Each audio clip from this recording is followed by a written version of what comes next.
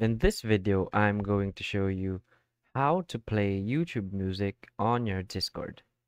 So please watch the video until the end and follow this tutorial step by step to avoid making mistakes.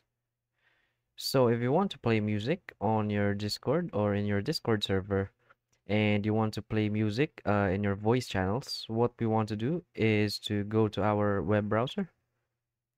And from here, we want to search Pancake Bot and we will see this first link which is pancake.gg we want to click it. And from here we want to click on invite bot. From here we want to log in our discord account. And now we want to choose to what server we are going to invite uh, this bot so after you select a server, you want to click on continue and make sure that all of this are checked. Now you want to authorize. You want to verify.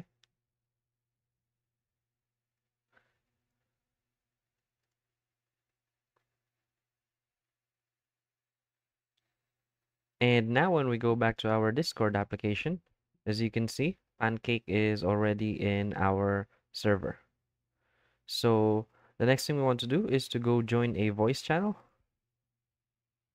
And from here, we want to go to any text channels and type this P exclamation mark space.